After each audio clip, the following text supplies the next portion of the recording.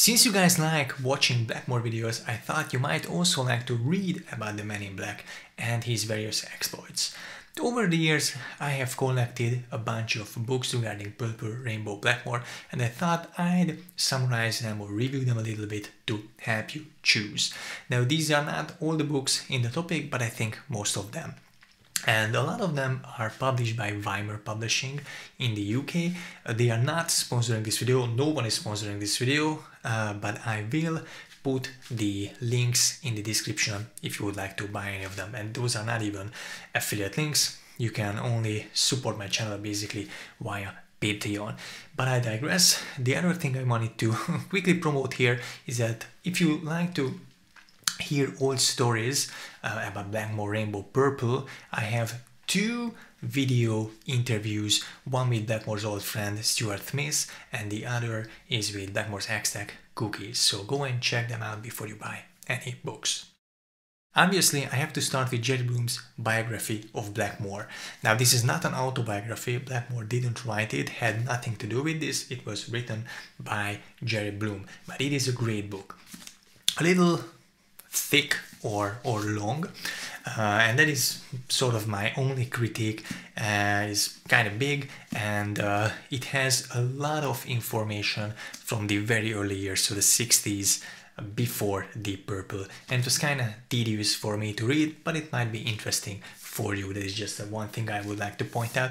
Other than that I think this book is amazing. It's absolutely a must read. If there's only one book you read about Blackmore this should be it because it contains most of the information regarding his career. Jerry Bloom wrote a bunch of other books and uh, The Shadow of the Wizard, for example, is is not a good one, I think. So it's in the other end of the spectrum.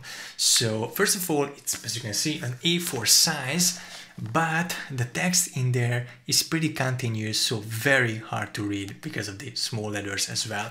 And a lot of the photos in there are kind of poor quality which is not necessarily Jerry Bloom's fault.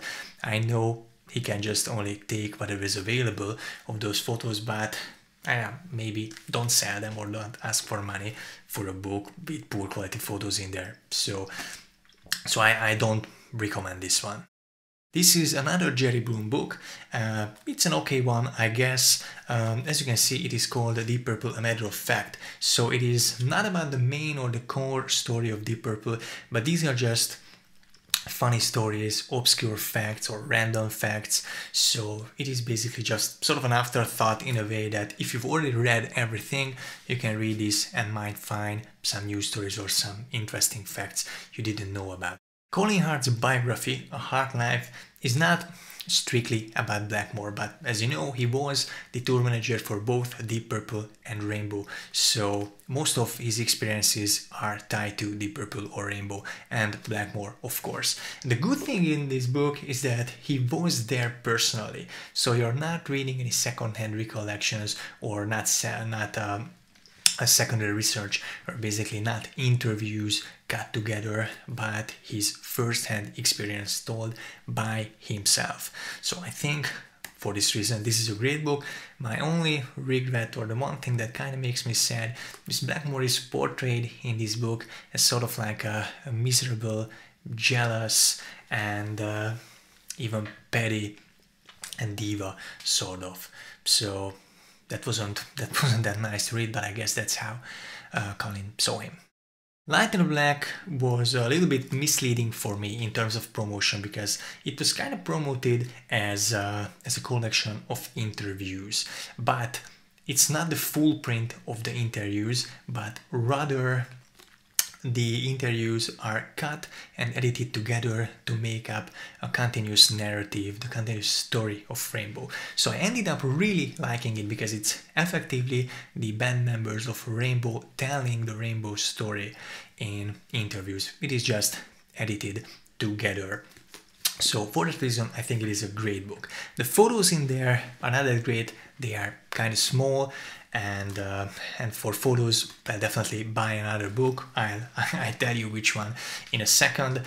But the other thing I would want to point out is the writer Martin Popoff is uh, is a journalist and so he has the delusion that people care about his opinion. And this is very annoying because because there's a lot of his opinions and ratings of albums and then sort of stuff in this book and they are very not just annoying but outrageous. Just let me just tell you one.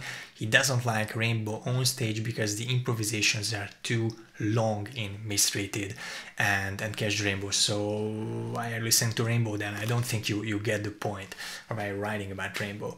But other than that like i said because of the band is telling the story throughout the interviews it is a great book. I would definitely recommend to read this. So let's talk about photo books this is the holy grail of them i think and you can see it is a huge really thick book. It is Didi Zill's Deep Purple photo book and there are photos in there not only about Deep Purple but uh, I think it, it is a little pricey. However when I got this two hours just flew by. I just opened it up started looking at photos and two hours just flew by in a minute so it i really enjoyed it and i think you guys will also really enjoy it. There are little stories narratives or, or maybe let's let's rather say comments uh, next to the photos to give you some context but it is very much about the photos not the story in there. Uh, the only drawback is that you already saw most of the photos in this book so it is obviously advertised as, as rare and never before seen photos and might be a couple of those in there. But because of the internet and Facebook groups I think everything was already spoiled. So chances are you've seen a lot of pictures. For example what I really uh, wanted to see in there is the machine head recording session and I really really enjoyed the photos. But the majority of them I already saw them online online in one shape or form. But all in all, if you would like to have these photos and just sit down with this book and and uh, and just read them and, and, and see them in, in very nice print, then uh, then I think this is the book to buy. And and yeah, another important factor is that the quality of the photos and the print I think is very very nice. This is Japanese photo book. I'm not sure what it's called, but, but Rainbow something.